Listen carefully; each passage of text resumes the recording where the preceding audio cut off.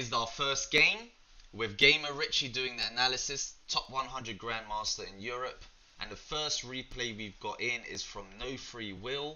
He says he plays Zerg, a Master's free, and Richie's going to tell him how he's going to get to Grandmaster. Alright, take it away, Richie. Okay, guys, uh, nice to meet you. My name is GamerRichy, as uh, Ghazi's just mentioned, um, top 100 GM, and I'm here to help you guys improve and sort of fast track your learning. Now, before we get into the game, you're a Zerg player. You should be using uh, the terrain and the map to your advantage. So, already in this map, we can see as a Zerg player, if you just go to the natural and the third, that long distance. So, you have to be aware that if your opponent does any sort of aggression, it's going to be hard for you to react unless we get that creep spread going nice and early. You just have to put that into the back of your mind. On very small maps, what you want to do is you want to go for a 15 hatchery to stop the probe really from denying it. Whether or not this opponent does it, it's very good to get into that standard. If not, you can go pool first to play very, very safely. So let's have a look at um, what No Free Will does in this game and how effective he can be. But please do note that the terrain will help. The terrain, you need to look at where your third base and your fourth bases are going to be placed and how you're going to approach that first of all. Okay. Uh, also, ping for me, Richie, so I can follow too. Right. Okay, sure, not a problem. You might be able to. Oh no, you can't go on my camera on here. So third bases and fourth bases. You just need to know where you're going to be expanding. Love so this is your natural third. That's your unnatural third. That is just yeah, that's just ridiculous. So you need to make sure that you get that set up straight away when you're in the game.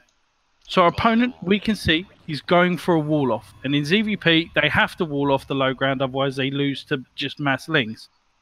So we see that with the first Overlord. The first Overlord's going that, and the second Overlord's playing very safe on the natural. And we can see here, we've got the expansion, we've got the pool. This is looking very, very good. So with this first Overlord, it's very important to, as soon as you scout the cybernetics core and the gateway, you want to note a couple of things but we'll wait until the Overlord gets over the other side of the map. So we're going for the really, really early third base. So this is advantageous and dis well, in, in this can create a disadvantage as well. So you're playing extremely greedy. Does your opponent have vision of that? Does you do you know the the vision that your opponent has? That's very important. He's got lack of scouting, so he's not going to be able to make an informed decision seeing this la- well, seeing this third base so quickly. Normally, when you're a Protoss, you want to keep your probe in the main base to try and make sure that when he does make lings, that there isn't a drone going for an early third, because this Protoss can simply just do uh, a lot of aggression early on with two gateways, or or you know get in between your bases. So that that's what your aim would be as a Protoss. As a Zerg player, you're doing quite well, but you just need to know what um, information your opponent has on you at this point in time.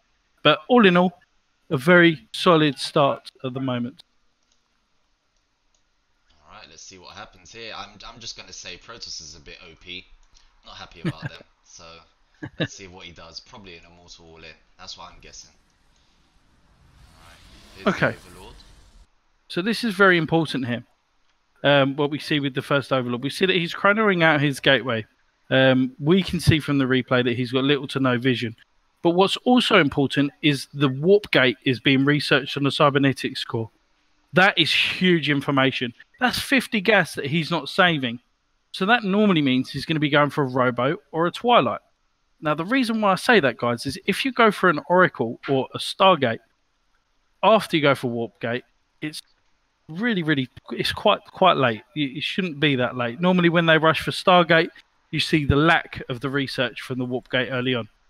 You also see a chrono of the gateway. That's very important because now you know he's not chrono in probes. Why is he not chrono in probes?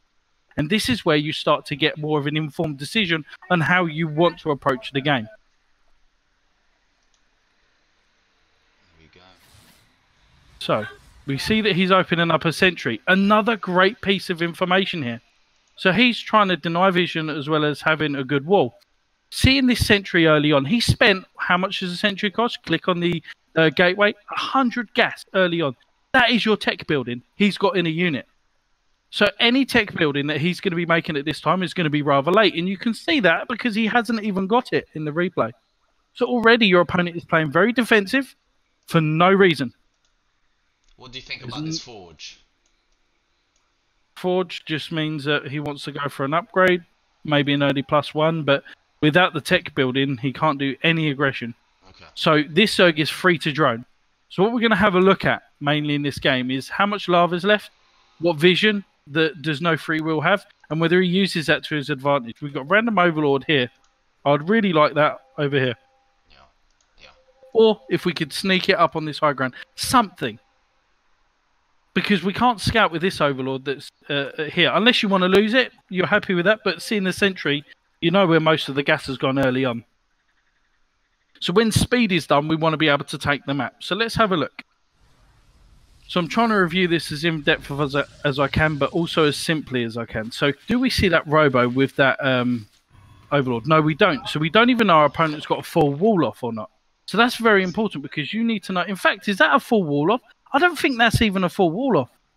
I think is that that's one hex. Is that one hex? That I reckon Zerglings can get around that adept or even kill that adept. Potentially, I'm not too sure. I can't really see it properly. Comes Sometimes it's deceiving. So the hallucination, all the Protoss wants to do is scout what you're doing, but he's doing like a.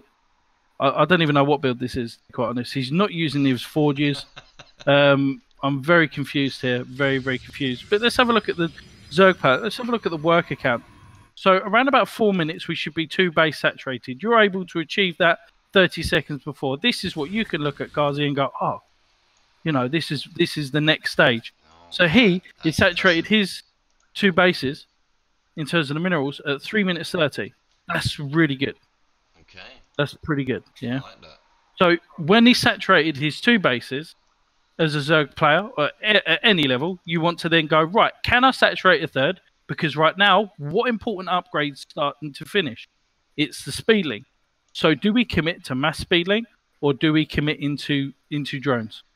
That's the decision making here for any sort of level sort of below master. That's where you make the decision. But you can already see there's a photon cannon um, that's in a natural, uh, and he's spending minerals on defense. So, do we want to attack into him? Probably not. Can we rush into attack? Absolutely.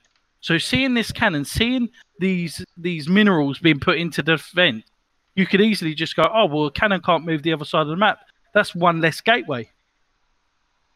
So what you would then be doing is right, droning, droning, droning, and rushing up that tech. So we're making sure when we get that third base down, we're going back into gas. At this So we- stage, should the probe count be similar to the drone count? That's fine. It- yeah, Yeah. Okay. normally they're similar. Yeah. It looks like that. But this is where- scout as well. this is what's quite important about this timing that I stopped is because this is where we should be starting to push forward. So we've got three random larva here.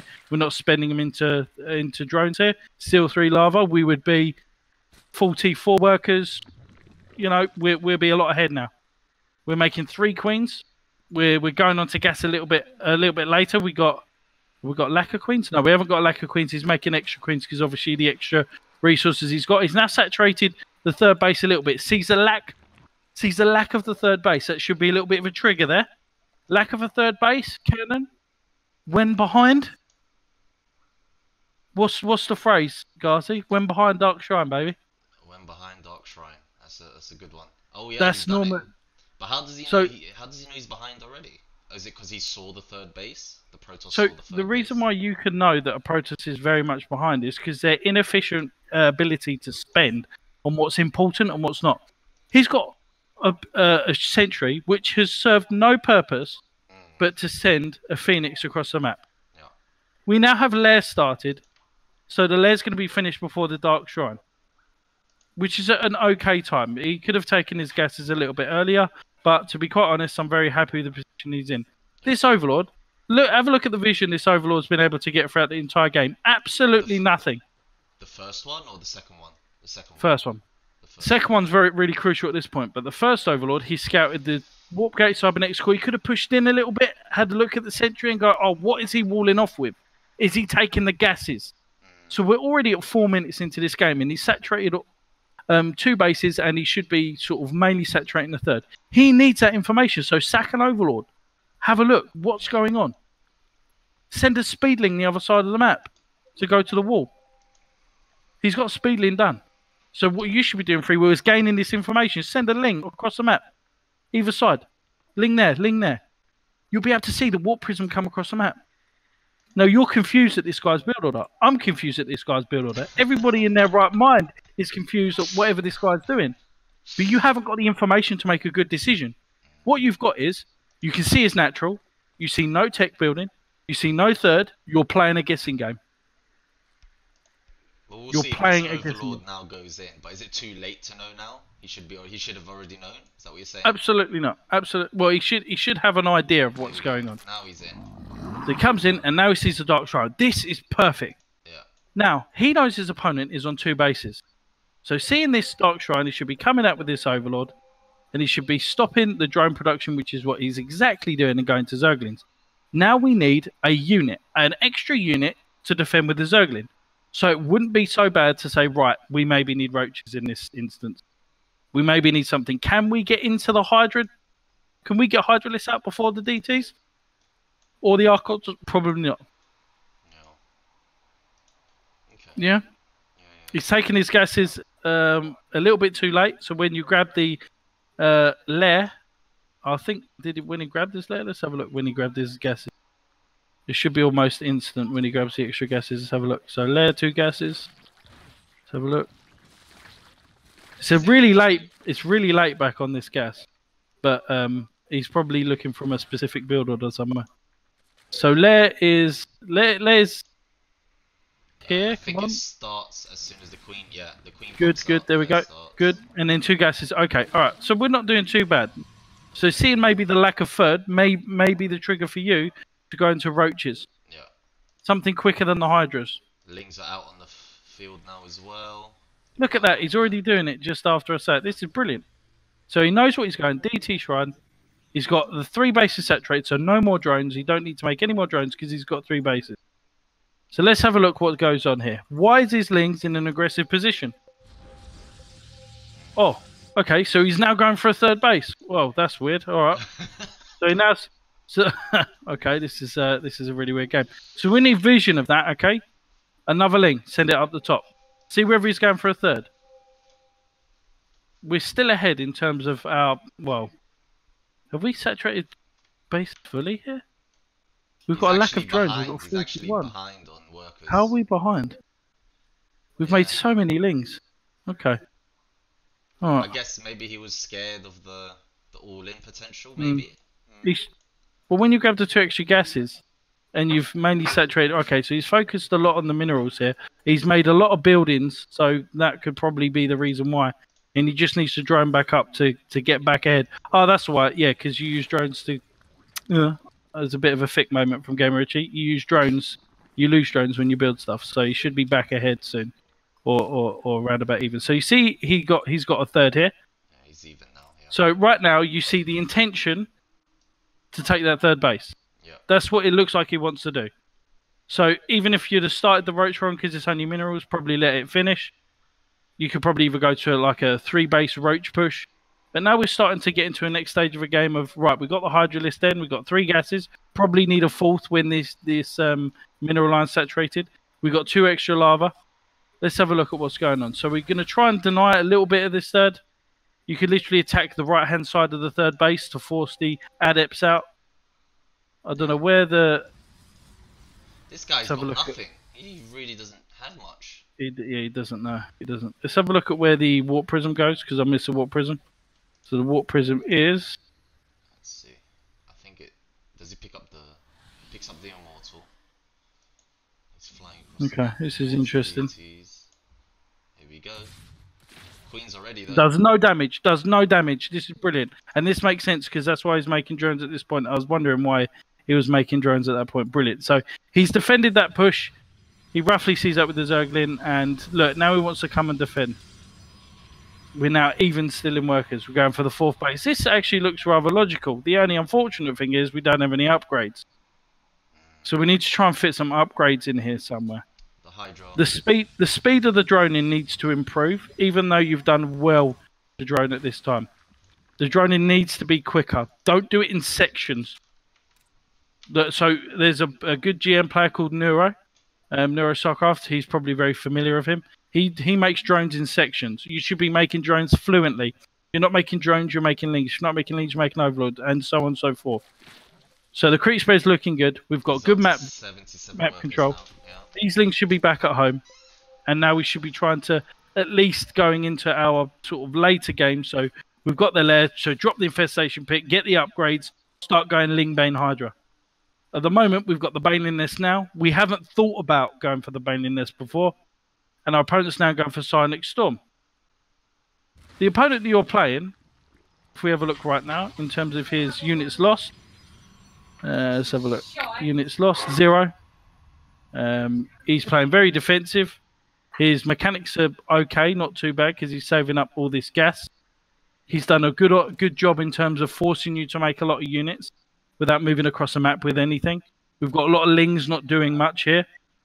Got lack of upgrades at this point. So normally the the Zerg and Protoss have similar upgrades, but if we can sneak something in, we need just a heavy hitting unit here. So we need to go into the infestation pit. Still max out of Lingbane Hydra, but then you can take all the gases, do exactly what you're doing here, but then slowly going up into Broodlords or something. This guy's already preparing for that. He's going for an extra Stargate already in preparation for the Broodlord. So your opponent, for some reason or somehow, is gaining no information at all. The only information he's gaining from is from this Phoenix here to start scouting around. This is a very weird game because no NoFreeWill is actually doing pretty well. Doing pretty well. So let's have a look at the overall. Um, okay, so he sees the sees the main base here. He sees control as well. He sees Correct. everything. So he's got fourth bases almost saturated. Let's have a look at the army count. So he's at 72, normally want about 80, which is why he's going for nine more drones. So that is going to be his maximum count here. Yeah. That's going to be his optimum. Yeah.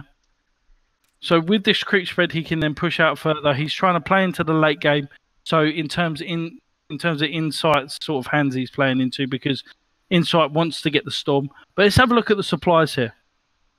Now, as a Zerg player, you're thinking you've probably already won the game here. As everybody's playing, you're like, oh yeah, you're winning. No, you're not. Protoss are quality units. Each unit they have costs a lot of money. Your Lings don't cost a lot of money. Your Hydras cost a little bit of money. So your Hydras cost 100 minerals and 50 gas. So they won't do as much damage as a High Templar that costs. And if you click on the gateway and you look over the High Templar, 50 minerals and 150 gas. So right now we need to make a good a good decision on what what does he have. If he knows he's gone for High Templars, what can counter High Templars? There are many many things that we could do here because we're so very far ahead. So as long as we get the infestation pit, we can do that. Let's have a look. Does he have the infestation pit? I can't see it. Let's have Huh. a look here. Structures. No, he doesn't. No infestation So- pit. So you can see he's already trying to gain information, and this is good. He does the baning drops, Oh, he so he can now-. Correct. So if we go back, there's 16 workers killed. I think I've rewinded way too far here. So this is good. Baning drops. So he's doing all, all the all the good uh, all the good moves here. So let's go back to where the overlords come in. This is brilliant. So with a turtle in play, you want to try and do damage. You can see it on the north side here. You should be able to see some banelings there as well. There we go. So let's look how much damage this does so that we can uh, at least give this guy some credit. Kills a lot of units here, kills a lot of units there. Now, he knows he's done a little bit of damage. If we then have a look at the income, he is much further ahead. So this is a point of where we're like, right, we've got more mineral income than our opponent. So we should be making a lot of units and trying to trade somewhere if we can. Getting a big long, so we should be trying to kill rocks. We should be getting prepared for a fight right now. Getting a changeling, sending a ling to his army. Check his upgrades. Is he ahead in upgrades? Is he behind? There's no information of where the army is, only when he comes to here. So we need a good engagement. We can already see that he's already gone for the photon cannons. So are we going to be going in with another group of banings on this side, and are we going to be using another bane drop? You can already tell baning drops are something that this guy hasn't really thought about, or is not cannot react to. Yeah. We've got big army here. The push. The- The big army is in an aggressive position, and he's not seen as far as we know, where the army is at, at this point in time. So this is great harassment. This is brilliant harassment. Under attack. So now we're going for the spire. Now we're going for the the hive. Arguably, that could have been um, on the way. We've got 34 larva that we haven't used to max out right now. So we could be maxed out versus this, but we're not. We're doing loads of harassment, so this is good harassment. But the harassment's not very good if you can't produce anything behind it. So your opponent's now going, oh, well, that's less Banelings in your fight. So now we're making some more Zerglings, whi- which arguably we should be making as anything we can at this point. This is a good harassment up here. Banelings coming in. Oh, uses one storm. We should be trying to get. Oh, this is a brilliant run by Actually Forces.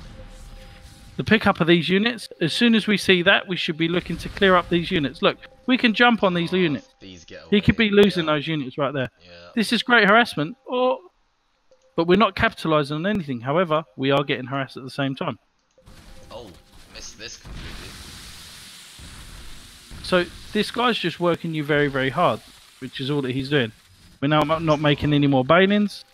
We're making Banelings as he's coming across the map. He loses the warp prism. Oh, And now it's going to be a fight of concaves. And how many high templars? Four high templars here. So that's going to be four lots of units. He's allowing you to make banelings, which I wouldn't do. We should be making more units here. We should be making something. What? 23 larva, hydras, something. what do you think about this random oracle? So the infestation pit was really, really late here as well. The infestation pit would have helped him. The oracle helps him for vision.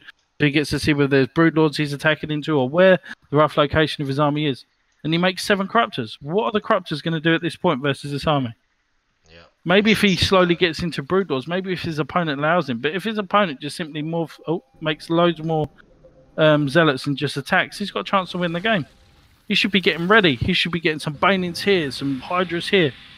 He knows the position of his army, but he's choosing to do all of these run bys when he could be trying to get this army surrounded here.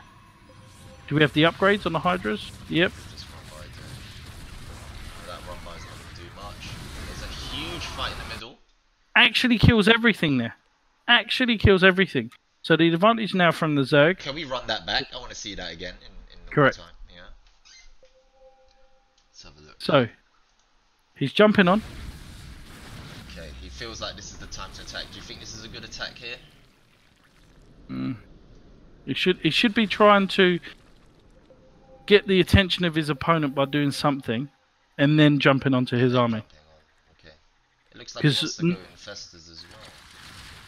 Exactly. So it's a bit of uncertainty. Right now, we shouldn't be thinking, "Oh, we're going to be making this unit." We should already have it in our mind. So that's why the infest. That's why I said the infestation pit is rather late. Now, where can you fit that in? Well, I'll tell you where you can fit that in when we get in, when we uh, rewind back. But we're just going to have a look at the outcome of the game first. So we've got loads of units coming around the side. He's spread out his army well. So as soon as this comes in, and this attacks the cannon, I want you to have a look at the opponent's army. What is what is insite looking at right now? Let's have a look. Yeah, he's looking away. Completely looking. Let's have a look at the engagement. Good opportunity here to try and at least jump in. But now, insite's come in. Here we go. He gets surrounded. Not a lot of Hydras here. You can see a lack of Hydras. That's because they're all in the main base. So he wasn't able to have all of his units together. Okay. So lack I of really guess- I guess the important thing is he kept all his immortals and archons. correct. So now, if he holds this until Broodlords, he could win the game. That's. A big warp in. Huge warping. Just of zealots as well. Just of zealots. It's not very, you know, it's not very uh, difficult here, but he's trading okay. Good. Um, Oh, I don't know Good- good sort of split here. He's, he's trying to hold out until the Broodlord's here, Yeah, and now he's and now he's trying to now um, another warp in. sort of get get back into the game here. We've lost a lot of resources. Have a look at the workers. Kill count twenty three to four, and we still got seventy seven workers. Where are the workers? Where are most of the workers? Oh, he's We're 24. into carriers, and charge wasn't done. I think charge was a big thing here. Yeah, charge wasn't done. Yeah, that doesn't matter really, because this this game was lost way before that. So we got broodlords.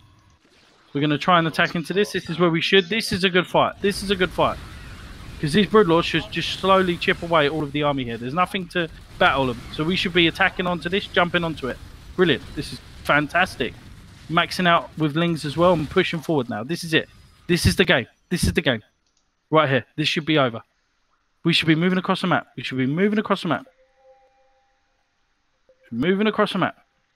That's what we, should be doing right now. Slowly going. Moving across the map. We could have been already across the map. Because the Broodlords are really slow to engage. So this should be over here because he's got not really much to defend it. Should be engaging with the Brutes. Great. Um,